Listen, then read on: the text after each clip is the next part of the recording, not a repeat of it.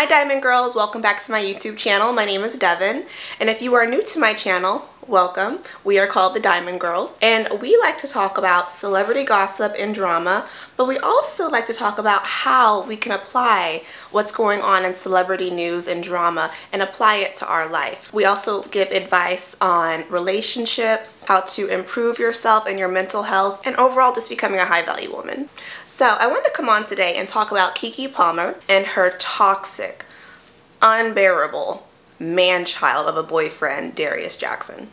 And what to do when a man is jealous of your success, is insecure, and how to deal with these modern day alpha men. So if you were in your 20s, 30s, or 40s, we've all grew up watching Keke Palmer. We saw her in Akeelah and the Bees. We saw her on Disney Channel. She was on Jump In with Corbin Bleu. We've all grew up with her. We all know Keke Palmer. Well, she recently had a baby in February, a little Aquarius baby. Or he might be a Pisces, I'm not sure. But she had a baby in February with Darius Jackson and their baby's name is Leodis Jackson. That's a cute name. I like it. I can dig it. I can move with it. So, Keke Palmer and Darius Jackson, they kept their relationship kind of private. They've been together since 2021. So, they've, they've kept the relationship pretty private and hush-hush uh, over the last couple years, as they should. You know, celebrities, sometimes they just put their relationship out on the limelight just for everyone to see Kim Kardashian. You know, they just put their limelight on everyone, you know, to see and to judge and stuff. So they've kept it pretty quiet. They've kept it pretty hush-hush until now. I guess there was this Usher show. I guess Usher took residency in Las Vegas and he has like this show. And Keke Palmer had gone and she wore this black lacy raunchy outfit. It's like a black sheer Givenchy dress and she looks good. She looks good. She just had a baby. You know she she was always like that skinny girl. Um, you know we you know in high school just skinny no boobs no butt. And now that she's had a baby and she's going through you know her postpartum and whatnot um, she, you know, she's getting her curve. She's looking good. I'm, I'm digging it. Like she, she looks good. The girl looks good. And if you've ever been that skinny girl in high school, which I once was, you know, as you get older, you grow into a woman and you, you know, you start to grow some boobs. You know, you're no longer rocking that A cup. You now, you know, you got that CD cup and, you know, you got a little butt behind you you know you're you're no longer a size two you're now putting in on size six pants you know you're looking good you're looking good so I get it so Keke, you know, she wants to show off her body. She wants to look sexy and whatnot. You know, she wanted to look good and everyone liked it. Everyone liked it except for her boyfriend. So, Mr. Jackson decided to go on Twitter and have a little rant like the man-child that he is. And he said, it's the outfit though. You a mom. Nice grammar. Nice grammar, Jackson. We live in a generation where a man of the family doesn't want the wife and mother to his kids to showcase booty cheeks to please others, and he gets told how much of a hater he is, he wrote on Twitter. This is my family and my representation. I have standards and morals to what I believe. I rest my case. You know what I find interesting? Is so many of these men want to showcase that they're a high value man I'm a high value man. I'm an alpha man. I'm a leader. But then proceed to go online and have these little toddler rants on social media. Let me tell you something. If your man is scrolling on social media all day long and is not doing anything with their life, they have no hobbies, no ambition, no goals, you are not dealing with a high value alpha man you're dealing with a man-child. So he wants to say we live in a generation where a man of the family doesn't want the wife and mother to his kids to showcase booty cheeks. Mr. Jackson, what exactly do you mean by wife? Last time I checked, you and Keke are not married. Her name is Keke Palmer, not Keke Jackson. So if you want to talk about traditional, then put a ring on it. Diamond girls, we're called diamond girls for a reason.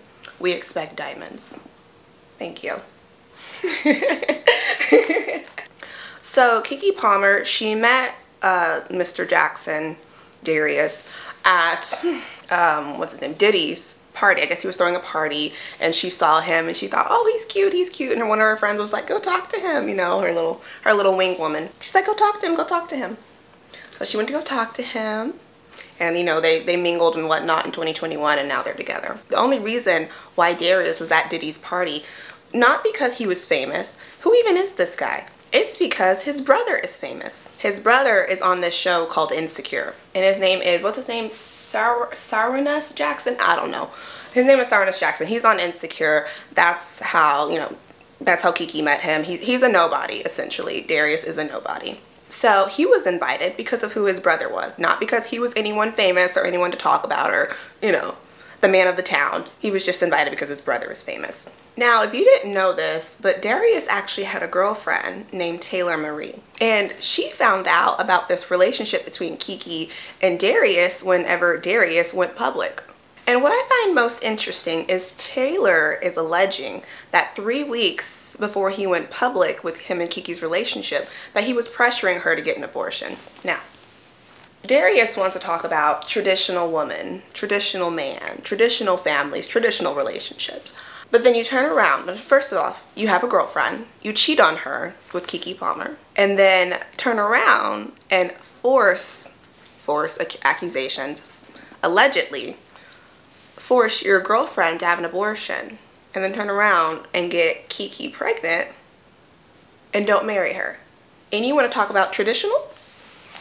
Okay. So anyways, who even is who even is Darius? He's a nobody. I don't even know who he is. But apparently, you know, he's a fitness instructor. He's a fitness instructor at this place called Inspire Fitness Studio or whatever. He used to play uh, football in college. The average income for a fitness instructor, I believe is like 24,000. Let's assume that he makes a little bit more than that, but the average income is about 24,000. Keke Palmer's net worth is 10 million. 10 million. So he's living pretty good. He's living, he, so he's living really good, really good. Um, you know, for a fitness instructor and marrying a singer, actress, dancer, comedian. So he's living pretty good. He's living really good but then has the audacity to go on Twitter and embarrass her. Have you not embarrassed her enough by not marrying her? You got her pregnant and you still haven't married her yet. And we see this a lot in men these days where, you know, they, they want to get a woman pregnant. They want to build this family, but they don't want to put a ring on it. Yet they still have the audacity to call themselves an alpha male because they think that this is what a woman wants. They want a man who's dominant, a man who is aggressive. So I'm actually going to get into this. I'm actually going to disprove this alpha male trend that is going on that Kevin Samuels started. So let's talk about, is an alpha man really what a woman wants? So if you haven't noticed, in 2023, there's been a lot of men coming out, you know, with this toxic masculinity mindset and trying to use humiliation as a tool to assert your manhood and your leadership skills as the head of the household. And for me, I am so tired of this alpha male conversation. So an alpha male is basically someone who is very dominant, very aggressive, very powerful. You know, they want to really impose their ideas and sometimes they'll use humiliation to put down women. Darius alpha versus beta, da da da da, all this stuff, stigma man. You know, it, it, it makes them feel big, it makes them feel strong. They want to be the man of the house. And alpha men are typically described as real men.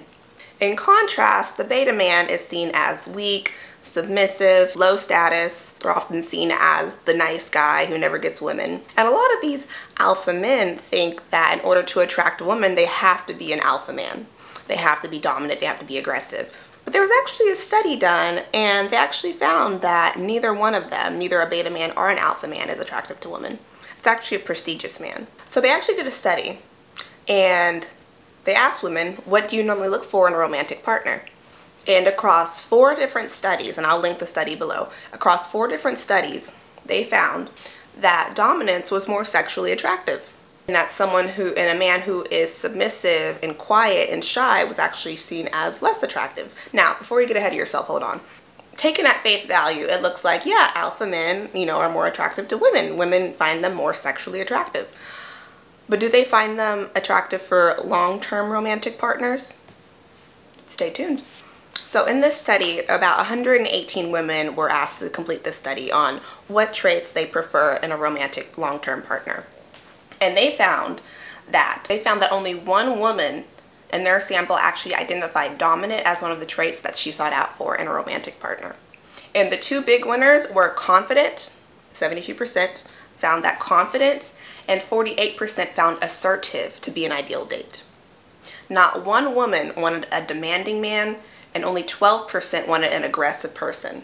Now, these are all traits of an alpha dominant man, right? You know, you have dominant, you have assertive, you have confident, you have aggressive, and you have demanding. And the two big winners were confident and assertive. Now, for the non-dominant traits, the beta man, typically the traits for these men are easygoing, sensitive, shy, and quiet. And a lot of them, you know, a lot of men think, oh, no one, no woman wants a beta man, no woman wants that. Well, actually 68% of women sought out men who are easygoing, 76% sought out men who were sensitive. Not one woman, not one woman wanted a submissive man, and only 4% wanted a quiet man. So while it's tempting to just be like, think very black and white, like, oh, a woman wants an alpha man, a woman wants a beta man, it's not that black and white. A woman wants a prestigious man. A prestigious man has lower levels of aggression. They have pretty high self-esteem, social acceptance, they're very agreeable. So based on this study, it's shown that women tend to want a man who is assertive, confident, easygoing, and sensitive without being aggressive, demanding, dominant, quiet, shy, or submissive. In other words, they want a prestigious man, not a dominant man. So now that we've shed that light of, oh, being an alpha man and being a beta man, let's talk about these alpha men who are intimidated by your success. Stop letting these alpha men tell you that you need to just sit at home, cook and clean, and not go out. But in that same term, they will go after a woman who is successful, has her career together, and then make her feel guilty for her accomplishments. There are some relationships where one partner just might be more successful than the other. And there are certain relationships where the woman is more successful, and men tend to get intimidated by that. You know what I found so interesting was this is not the first time that Keke has just, you know, twerked and shown off her body. And Darius had no problem with it. He had no problem with it. He only had a problem when Usher, a more successful man, a more educated man, was all up on her. So he was intimidated by that because he cannot compete with someone like Usher. But yeah, so these these men, these alpha men, they want to talk about, oh, you know, I want a, a housewife, I want a stay-at-home mom, but in that same breath, did these men have a mama who was staying at home? No, they didn't. You're talking about, oh, I want all this, I want all that, I want a submissive woman, I want a woman who stays at home and cooks and cleans and does all this stuff for me. But then you guys never had that role model. He never had to like, did you have a dad at home? No. It's so funny how these guys, they want to, you know, they, they, they grew up in a single parent household, but then all of a sudden they want to place these rules and regulations onto women when your mom was literally a single mom really. Listen, for me, I would consider myself to be a conservative woman to some degree. You know, I have a very, you know, I, I grew up in Texas. I'm, I'm, I'm pretty conservative mindset. But I just find it so interesting how these men, you know, him talking about traditional this, traditional that, and then allegedly forces his girlfriend Taylor to get an abortion. Typically, conservatives go against that notion. People who have more of a traditional mindset go, go against that notion. Um, but because it didn't benefit you, you want to go against that. Okay, cool. So let's talk about what to do when you are in a relationship with a man who is intimidated by your success or is jealous of your success. So I find it interesting because who was Darius before he met Keke? Who was he? A nobody. He was a football player in college and he's a fitness coach now. He was a no one. No one knew about him. The thing about insecure men when they're with a confident, successful woman is oftentimes whenever you are, you know, you're doing your thing, you're getting all this attention from men, from women, you're getting all this clout, oftentimes they will want to draw attention to themselves. You know, Keke, you know, she prides herself on keeping her relationship private. But now that Keke is getting all of this attention, he all of a sudden wants to go on Twitter and go on this rant like a toddler because he wants attention too. He's like, look at me. Hello, guys. I'm here too. I'm her boyfriend. I'm her baby daddy. No one cares about you, Darius. No one cares about you. Who are you? So he wants to draw attention to himself and he becomes jealous of you and he's trying to compete with you. He's trying to compete with you. He's not on your level, baby girl. And the reason why he does that is because he feels as if his accomplishments are not as good as yours. And he'll never be able to tell you this. If you're bringing home more money than him, and you're the one paying the bills and calling the shots, and you're like, no, we can't afford that car, you tell him, no, you can't buy this, he can't buy that, you're messing with his manhood. So he's like, well, I'm great too. I'm a fitness coach trying to get on your level and he wants the attention because he's insecure. But essentially, Darius, he made this about more so his ego than about herself. She just had a child a couple months ago. You know, he's not thinking about all of these things that she could be going through this postpartum depression, you know, her body's changing. And he can call her beautiful all day long, but she has to feel that within herself. So he made this more about his ego. And that's the thing about men who are intimidated by a woman's success, is he's making it more about himself than what you've accomplished. The thing about envy is there's three different types of envy. There's depressive envy, which can look like, I feel like a loser compared to her. There's hostile envy, where I think she manipulated her way up to the top. And then there's, and there's benign envy, which is, that's impressive. So here's an example of them. Depressive envy is like when someone you know does better than you. And, it, and that can often translate to feeling like, oh, they're better than me, I'm a loser compared to her, I'm inferior, I'm a failure, and you think that their success reflects your failures. And then there's hostile envy where it's, I think she manipulated her way up because you resent this other person and you want them to essentially fail because you feel like they had to do something crazy in order to get to the top. This person might enjoy successful people getting divorced, or arrested, or having accidents. And oftentimes we feel better because we feel as if we, you know, we both have lost. And then there's benign envy. This is kind of like a neutral envy. You kind of observe this person, you're really impressed by their success, and you basically admire them and you give them credit for it. I feel like Darius is more on the hostile envy because he feels as if, well, if Keke can go on and embarrass me and twerk all over Usher, then I'm gonna go on Twitter and embarrass her. Now we're both going down. Because remember, someone who is hostile, they enjoy seeing successful people fall feels better. We feel better knowing that we both have lost. And by her going out and being success, the successful woman that she is, that hurts his fragile male ego. You know, this alpha man that he claims to be, this traditional man. Another sign that you are with a man who is intimidated by your success is he will nitpick your flaws. We all have friends like that where, oh, girl, you're really wearing that shirt today? Okay. I would never wear something like that, but it's cute, I guess. You know, he wants to nitpick your flaws. And you know what I found most interesting about Darius is you never really hear him talking about how great Keke is and how amazing she is and all this other stuff. He only wanted to point out her flaws and the things that she wasn't doing right because he felt embarrassed. And that's the thing about insecure men who are intimidated by your success. They only want to point out your flaws. They can know they can never say anything nice to you. They don't they don't want to see you get praise. They don't want to see you be happy. They don't want to see you be successful. They want to bring you down to their level. They don't want to celebrate your big wins. I had a boyfriend back in high school. He's my ex now, thank God. Ugh. But back when we were dating, there was this person who came up to me, there was complimenting me like, oh, you're so pretty, da da da da. And I was like, thank you. And he said, don't compliment her. It's going to make her head bigger than it already is. And what I find most interesting about that is he was actually a, a, football player in college and now he's a fitness coach. So very similar to Darius, so I know how these guys are. But they only want to point out your flaws. He was always pointing out my flaws, but never talked about how, you know, the good things about me. They don't want to celebrate your big wins. You know, let's say you come home and you're like, babe, I just got a promotion at work. And he's like, oh yeah, that's, that's great. That's awesome.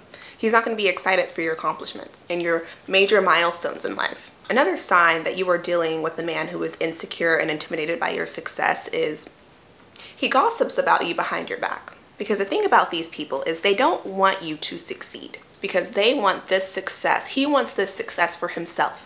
So he will gossip about you to others in order to make himself feel superior. And a lot of what he says is there to just basically tear you down and to make you look like less of a person to these other people. And he's going to try to ruin your reputation. Because the thing is about these you know, self-proclaimed, self-diagnosed alpha men is they're really insecure. They're just really insecure men.